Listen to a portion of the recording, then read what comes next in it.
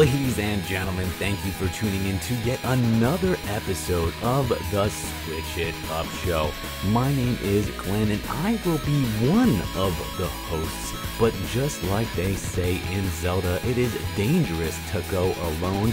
I need to take something.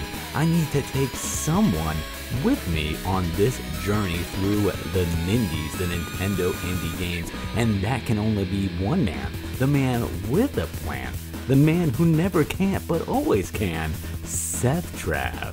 That's me, brother. How you doing? I'm doing well, my man. How are you this fine, oh my, what month is it?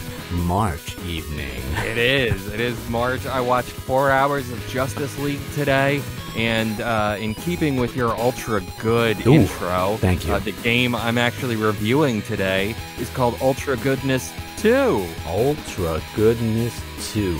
Well, my man, I hope that that game inflicts some ultra goodness on me because my game is actually called Infliction the Extended Cut.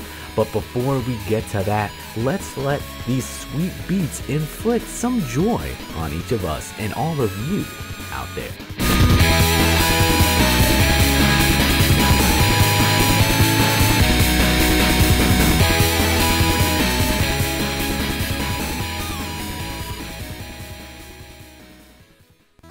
The first game on the episode today is going to be Infliction Extended Cut. Infliction is an interactive nightmare, a horrific exploration of the darkness that can lurk within the most normal looking suburban home. Wander through the remnants of a once happy family, reading letters and journals, listening to voicemails, and piecing together clues to understand the terrible events that led you here. However, you are not alone. Something else has remained in the house. A being of infinite, infinite grief and rage, and hopefully better reading skills.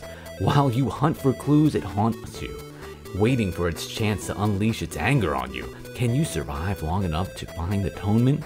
You are not alone. A restless AI enemy will be stalking you, and you really don't want to be caught. Will you hide or find some way to fight back? It features a warped reality, explore a realistic, interactive suburban house that gets more fractured and twisted the deeper you go. Piece it together, read letters, find diaries, and examine the precious mementos of a broken family to understand the terrible events that have led you here. It's almost too real. The story is grounded in real world domestic tragedy, tragedy. Oh, that fears and hurts that we all know broken hearts, betrayed trust, grief, and loss. It features light and dark. The power of the Unreal renders a photorealistic environment with dynamic lights and shadows that can dazzle you or plunge you into the darkness. This game is on PS4 and PS5 in the PlayStation Store. Uh, It was released on December 22nd of the year 2020, and of course, if you purchased it on PS4, you get the PS5 version, and that was at $19.99. This game is rated M for blood, strong language, and violence. And Mr. Trap, I'm happy to report that you and I kind of experiencing this uh, this game a little bit together. We did the share play on the in. PS5, Yeah. and I was Yeah. uh, uh, actually I asked you, I was like, did the share play look good? And you, you were pretty impressed with the quality of the share play I was very impressed. I was very, very impressed with the share play on PS5. Absolutely, man. It, it seems like the whole like, everything just runs a little bit better on PS5. And now I did not play the PS4 version of this. I played the PS5 version because I was I was you know perturbed to say the least. Um, but what I what I noticed was like I don't know what the graphics looked like on PS4, but man, do I feel like they look good on PS5. Like the detail at which that that you like hear, experience, and see when you're in this house, I feel like is it's up there.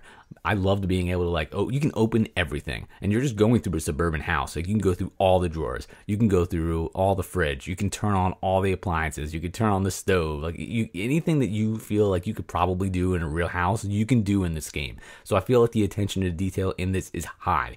And that is something that you want when you're doing one of these, like kind of like interactive realistic horror games where something is horror, in yeah, it was something is. Exactly, because like I mean, they make it feel because of that attention to detail. It feels more real. Like every time I was like, oh, I wonder if I could do this, I would go over, check, and interact with it, and I could. And I was like, oh, that's cool. Like if if you want to open up the fridge, check out the eggs, and pull one out and look at it, you can do that. Um, I don't know why you'd want to, but you can. Um, there's a lot of exploration that you can do in this game that's there, and because of that, it like it adds to the atmosphere and makes it all seem more real because you're interacting with everything and the game is interacting with you. This, this, I feel like the sound design in this game is really good too because there are moments where you're walking through this house and you hear everything. You hear like the br- like the branches like hitting up against the window if there's a storm. You hear the wind. You hear yourself walking through the house and they do such a good job of painting that picture of being alone like in your house at night and you're like you hear that noise and you're like is that me? Is that something? Is that uh. somebody else? Like i feel like we've all kind of been there. Maybe after you watch a scary movie and you're like taking that walk to go lock the door and you're like you're like looking around and you're like it's just me right? Like it's just me. Like this this movie does this movie it feels like a movie because of how like the tension that it builds like this game does a great job at like establishing that atmosphere and keeping you in it. The one like curse and like it's like a blessing and a curse though because this game requires like all of your um stamina i guess because it is an exercise in tension that's what this type of game is. Not that like other horror games aren't, but at least in some of them, like, you know, you're playing Doom, you're playing even like Alien Isolation, which I feel like flexes that muscle a lot. You've got a weapon. You really have a weapon in this. You got a flashlight. Um, you, you, you could see a knife, can't pick it up. even on the cover, even on the cover of the game, you see somebody coming after you with a knife. You got a flashlight. So I mean, you, don't really have anything. And they mention it in the synopsis. It's like, are you going to try to like fight for survival and try to find out like and dive deeper and find out like what's going on, or are you going to hide? And like you know, I, I got to I got to right now. We, I, I, I kept running, run. and I love like I love horror. I really do. It's my it's my it's my it's my favorite thing to watch. I read about it all the time. I'm way into it.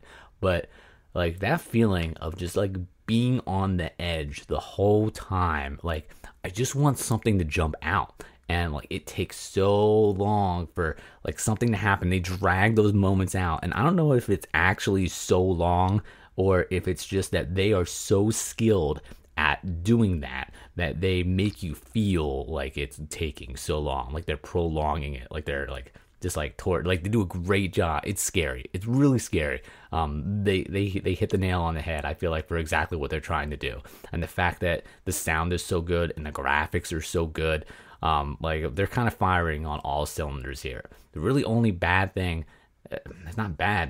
the only thing that I struggle with is that because they do such an excellent job at what they're establishing, um, like it's scary. It's really it's it's a scary game, and I don't even know if it's necessarily scary. Like it's it's stress inducing. There's a lot of like there's a lot of on edge. Play a lot of games in my spare time to like relax and have fun and hang out with my friends, and that's why it was good to play this game with you because I could kind of like you know we can kind of balance each other out a little bit. I need someone to talk to when I'm going through this, um, and so I, I mean I don't like that. I don't like that feeling um, like in a video game. It's a passive experience in a movie. Maybe if you're in a movie, if you're in a movie theater, it's a more active experience when everybody's reacting. But when I'm constantly on the edge of my seat and I'm waiting, and waiting and waiting, like it's an interactive experience, and I feel like I'm kind of being tortured in a way. you know, I just want it to, I just want it to happen. Uh, it's like it's like the longest jump scare of all time. you know, um, that you're that you're experiencing. Um, so for that, for me, for that, that's a negative. I don't like that. But that's what this game is. They don't hide that going into it. Um, it's nineteen dollars and ninety nine cents. Infliction extended cut of Blowfish Studios. Um, this is this is like it's hard for me, man. It's hard. Um, I'm gonna give this a high score. I'm gonna give this a 4.5 because it's really good. I want to know more about it, but it scares me. It scares me, yeah. man. And I wow. don't I don't give it like it's hard because like the way that this game makes me feel makes me want to play it less but it does such a good job at establishing its atmosphere and what it's trying to do that i want to play it more that being said this would be something that would be great to play with you and like stream it or something and experience it that way it's too scary for me to play by myself like the house like if you live in, if you like, this is your house, man. This feels like It your was- house. it It, feels too real. before. Like even when I was sitting here watching it while my girlfriend was screaming and laughing next to me. Um, it was great. It was definitely great. Maybe we will stream it. Check it out on our YouTube channel backslash Preesh Network. hmm Uh, and look out for Infliction Final Cut. Was yeah, it uh, infliction extended cut. extended cut? Yeah, I'm not brave enough. I need your help. I need your strength.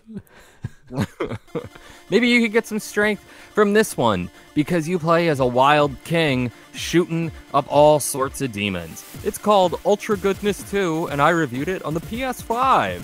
It's from our friend over at Ratalaika Games, and it's $3.99 currently on sale. The offer ends April 1st, 2021.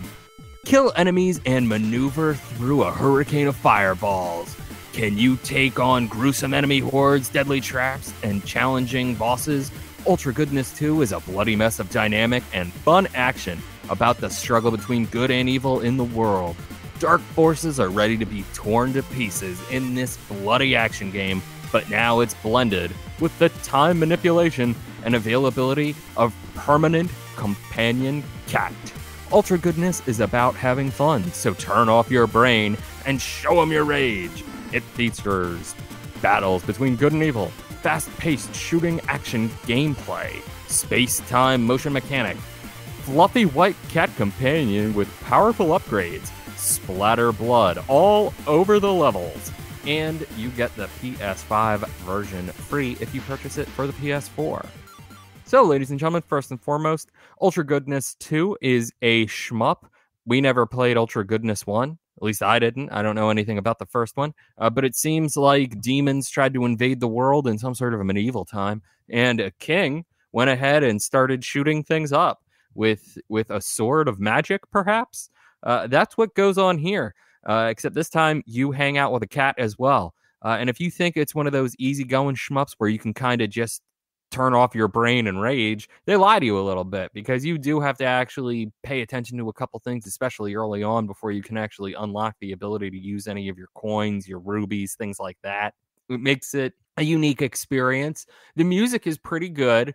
Uh, it, it's definitely like dubstep, like hardcore. You wouldn't necessarily expect it because it's got a real sort of elementary uh, vibe to it almost. It you go into it expecting it to be sort of uh, carefree and a little bit kitsch because it looks a little blues clues maybe, uh, but it's not. Not at all. It's dubstepping like I don't know, Skrillex. Is that the dude? Is he still about? Yeah, it's all Skrillex, man. It's it's dropping the beat for you, and it's intense. Uh, and you got to be on your feet. You got to stay on your toes, and you got to make sure those cats scratch, baby. You know how it goes. Uh, it's it's interesting. Um, it it definitely is something that wound up sucking up my attention more than I thought it was going to. And for it to be on sale right now and to be one of the only new games available on the PS5 right now, especially at that cheap, cheap price of $3.99, I think that makes Ultra Goodness 2 a pretty great game. So I am going to give Ultra Goodness 2 on the PS5 a 4 out of 5. Some quality scores, my man, and that's an amazing price point for a game on the PS5 right now. I think so, uh, because most of the games that are out on PS5 are over thirty dollars. Anything else, you got to get PS4, and then hope they give you the free upgrade, which it seems like most of everything is doing. Mm-hmm. Uh, but like you said, you ran into a few situations where it wasn't gonna give you the free one. That is true. They did. But they saw the light. They saw the They light over at Blowfish Studios, and they they Thank they God. hooked us up. Yeah, awesome, my man. Well, thank you for joining me uh, once again uh, on this episode of the Switch It Up Show. No Switch games. No, surprisingly, this time, this episode, not a single Switch game I don't- the show. I don't think we've ever done that before. You know what? No. You know, but we have hundreds and hundreds of episodes of games for the Nintendo Switch, and you know what we like to do here. We always love to switch it up.